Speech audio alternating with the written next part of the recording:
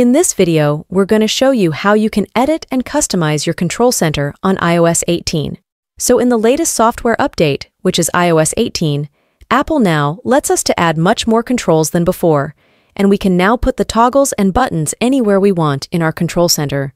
Plus, it's not limited to only one page, but it has multiple pages. And before we start with the tutorial, if you are new here, make sure you subscribe to our channel for more similar tutorials like this one because it would really help us out.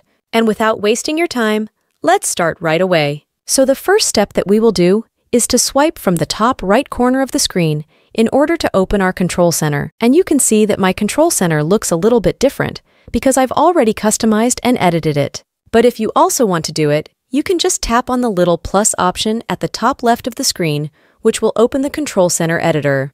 You will see a little minus option on each control, and we can tap on that little minus if we want to delete or remove a specific control. Let's say I want to remove the calculator and the low power mode toggles from my control center.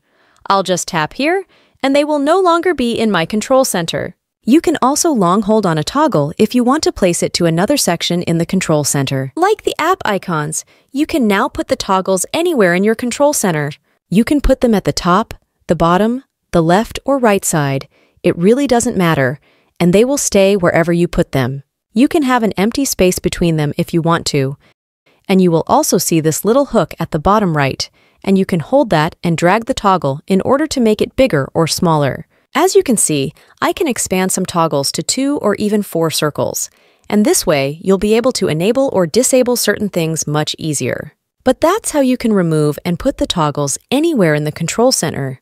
But what if you want to add more toggles? All you have to do is to click on this Add a Control option at the bottom, and that will open up a new window where we can select from a wide variety of toggles. You can add all of these to your control center, like the connectivity toggles, accessibility options, and many, many more things. But that's essentially it. You can now add, remove, and customize the Control Center toggles to your liking.